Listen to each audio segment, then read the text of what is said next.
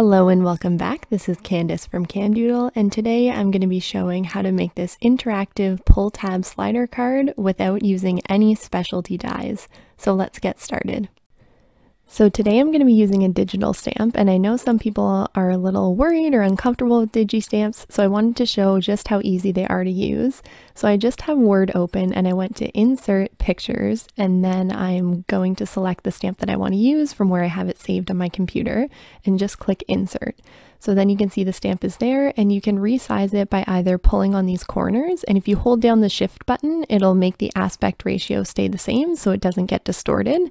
Or what I prefer to do is come up to the corner here where it has the height and width and I just change that to however many inches I would like it to be. So for this one, I chose three inches because it's going to go on a standard A2 card.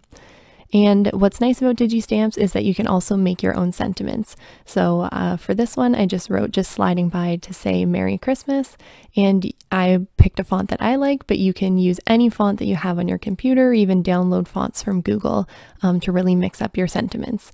So it's super, super versatile. And then once I'm happy with how things are looking, I just go to File Print and my printer is giving me an error message only because it wasn't plugged in. So that's a me problem.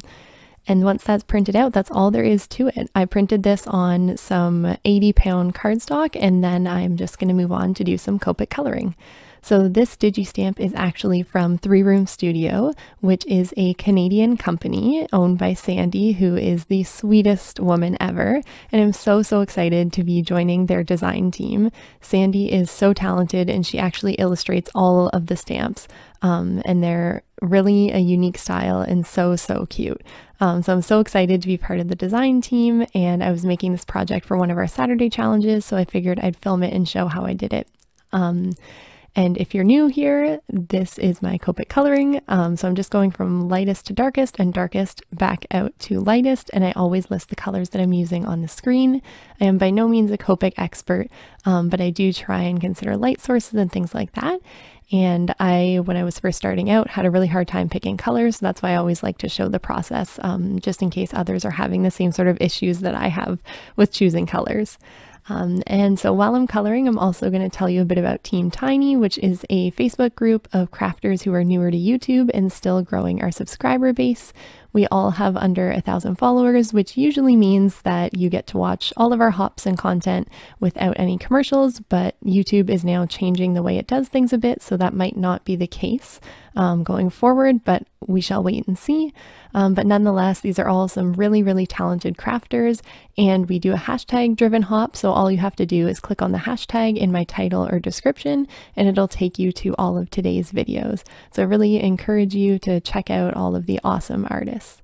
Um, and so this stamp, like I said, is from Three Room, and I will link to it down below. Digi stamps are super, super affordable, so that's also something to consider. It might be a bit of an easier way to get into card making. So once I'm done coloring that, I'm just going to cut down my sentiment strip with my guillotine trimmer, and then we're going to do some ink blending on the background. So this is becoming my go-to background for night skies. It is Blueprint Sketch Chipped Sapphire and Black Soot Distress Oxide ink. And I like to kind of go in a radial pattern, so to make the edges a little bit darker and then the center a little bit lighter. And I'm just making sure to blend down toward the bottom, but not all the way because my snowbank is going to cover that. So I'm coming in with my Distress Sprayer, just with some water first, and then I am going to come in with Lawn Fawn Liquid Stardust, water that down a little bit, and flick that on with my paintbrush to give some glitter to this night sky sort of look. Then I'm coming in with Dr. P.H. Martin's Bleed Proof White, and this is just a really opaque white paint. Um, but any acrylic paint would work. And then I'm watering that down and flicking it on as well. And this gives a really cool sort of snowy look to the night sky. So now we are going to move on to the pull tab piece. So for any pull tab, you need a front that has a track cut in it, and then your back piece, which is the pull tab that you'll pull on to make the image move. And then you take a piece of foam tape and stick it to the pull tab through that track in the front piece and glue on your stamped image or whatever you'd like to move. And so that's the basis of a pull tab. But as you can see, there's this track here, which I don't always love to show on my cards. So I'm going to show you how to get around that. So here I'm just laying out where I'd like things to go and how I want my snowmobile to move, but I don't want that track showing. So I'm going to show you a way to make that not happen. So I'm just marking out with my pencil where my track should start and stop so I have an idea before I start cutting. And I'm just taking a ruler and my X-Acto knife on my cutting board to cut that track. There are definitely some dies that do this, but I wanted to show that you can make one of these cards without having any specialty products and just using what you have on hand. And I'm having to go over it so many times because this knife definitely needs a new blade. So once my track is cut and I'm happy with that, I'm just going to make sure everything is still working and where I would like to have things. And now I'm going to take a sheet of window plastic and I'm just going to map out how long I need of that um, because I want it to go right behind the stamped image and hang down just a little bit over that track.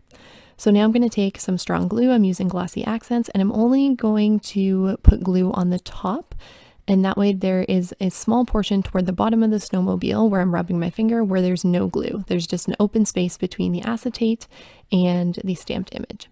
And now I cut my pull tab off camera and I also rounded the corners and stamped pull. And now there's a massive jump forward because I thought I was recording when indeed I was not.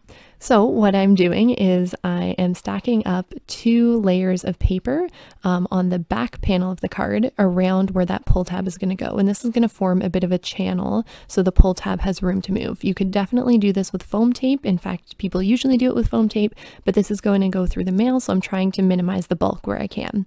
So once I have two layers of paper around all of that, I'm going to come in with my double-sided tape and put that down everywhere except the channel. And I'm making really sure to have no tape in the way.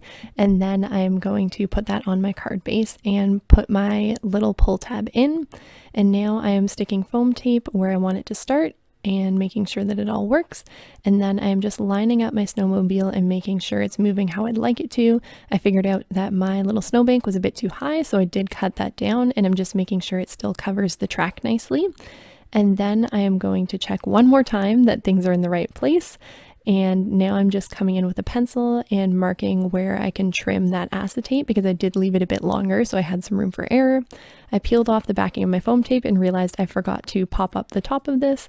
I generally like to do this just so everything is laying with the same dimension um, because if the bottom is popped up and the top isn't, it might kind of want to lean back against the card. And then I just used some glossy accents on top of my foam tape to make sure that stuck down really, really well. And now I'm coming in just with my snowbank and putting down some foam tape. I'm just kind of doing it in this bit of a finicky way to make sure that nothing is in the way and everything is still moving well because I have made the mistake of putting foam tape where it doesn't belong in past. Um, and so once I have that all taped down and glued down, it is moving and everything is working well. So last up, I am going to come in with my sentiment strip and just use some double-sided tape to put that down across the top. And there we have the final card. It's so, so cute. And I love that these dogs are just playing on their snowmobile. It's really a true Canadian winter scene. I hope that you enjoyed the card today and this gave you some ideas to stretch your supplies and make a pull tab slider card without using any specialty dies. I'm so appreciative of the time that you spend here with me. Thank you so much for stopping by. And of course, I'd love to hear from you down in the comments. And as always, you can also follow me over on Instagram at Candoodle Creations. And I will see you in my next video. Bye!